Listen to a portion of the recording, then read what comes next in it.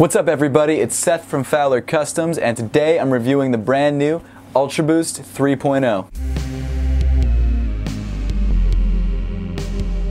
Thanks so much for tuning in guys. Make sure to hit that subscribe button down below if you haven't yet. But with all that being said, let's get into it. So I just got back from Adidas's grand opening of their new flagship store in New York. It's like four floors of just crazy shoes. They had a bunch of restocks today. Uh, they have my Adidas Ultra Boost now, which is crazy. You can customize your own Ultra Boost. Right now, I think it's some limited colors like gray and teal and things like that. But eventually, they're gonna roll out more colors so it should be good. But the main reason I was really excited to stop by was because I knew that they were to have the Ultra Boost 3.0, and to be honest, I've been looking forward to the 3.0 basically since I first saw images of them. Man, they look great. But as with all my reviews, before we get into the shoes, let's take a look at the box. Of course, because this is an Ultra Boost, you do have your standard Ultra Boost box, which is yellow on the top, purple on the side with your Boost text around the outside. I got a size 9, my true size, and with Ultra Boost, I really like going true to size.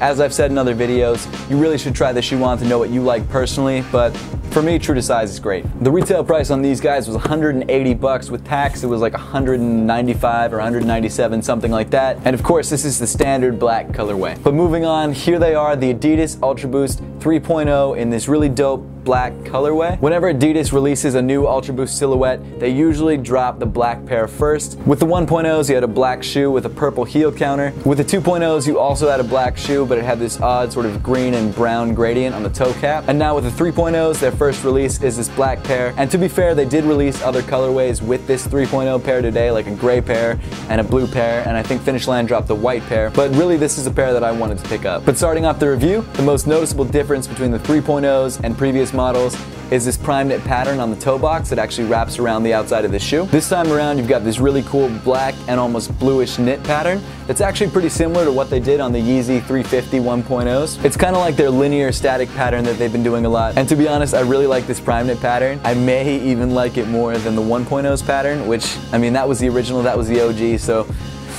I don't know, but there's something about this that I really dig. This prime knit pattern actually does sort of have a raised texture. You can actually feel these lines here on the toe box. Not only that, but one thing you'll notice is that on the 1.0 and 2.0s, they actually have these perforations on the toe box, which the 3.0 doesn't actually have. This toe box actually looks just like a solid knit pattern. There aren't any perforations on the toe box at all. And from what I can tell, nowhere else on the shoe. I do really like how it's not just a solid black, you've actually got some bluish gray woven in. That actually reminds me a lot of the 1.0, which had a very similar sort of color scheme. Moving back on the shoe, you've got the other noticeable difference between this 3.0 and the previous models, and that difference is that the cage is slightly transparent, so you can sort of see through it. It kind of looks like a dark smoke gray, but if you hit it with just the right light, it almost has like a yellowish brownish tint to it. But other than the color, the actual shape of the cage is exactly the same. Just like the 2.0, the entire upper is made up of prime knit. On the 3.0s, as I've mentioned, mentioned, the linear pattern actually extends from the toe box up to the tongue and then towards the midfoot of the shoe. On the heel, tongue, and the tip of the toe area, these lines sort of turn into more of a dot pattern. Something that I've noticed is that on this ankle area here,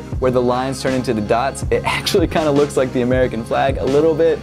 That's not really important at all. That obviously wasn't on purpose but just something I noticed. Moving to the back of the shoe, you've still got your plastic heel counters, and then on this pair, the Ultra Boost is in silver. On the inside of the shoe, you've got the same black insole with the silver Ultra Boost text that you've had on previous models. The interior of the shoe is almost exactly the same as the 2.0s. In fact, it feels almost unchanged. The padding's in the same areas, they've used the same material on the lining, but to be honest, if it ain't broke, don't fix it. Of course, you've got your Boost midsole, which provides probably the most comfortable experience you could have in any shoe, let alone a running shoe. And then on the bottom of the shoe, you've got your torsion plate in the middle, and then your black Continental outsole. Overall, this is a really great shoe. I mean, it's an Ultra Boost, so you can't really go wrong with Ultra Boosts. It's super comfortable, it's very stylish, it's super popular right now too. You can pretty much buy any colorway, wear it with any outfit, and you're good to go. The 3.0 is very similar to the 2.0s and 1.0s, so if you have any of those, you know what you're getting yourself into with the 3.0s. To be honest, if you already have a pair of 1.0s or 2.0s, there's no real need to upgrade to the 3.0s unless there's a colorway you like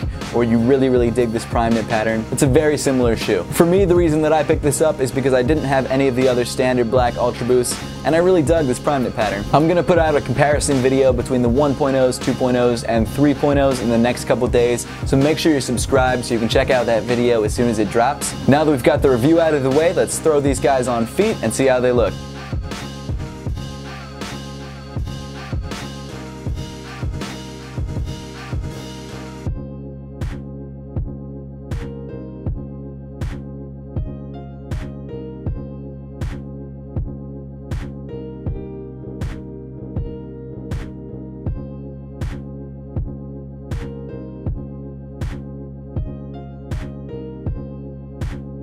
That's pretty much it for the video, guys. Make sure to leave a comment in the comment section down below, letting me know what you think of the 3.0s and if you prefer the 2.0s or 1.0s more. And as always, guys, thank you so much for watching. Please make sure to give this video a thumbs up if you liked it. Subscribe to Fowler Customs if you want to see more content just like this, and follow Fowler Customs in all other forms of social media.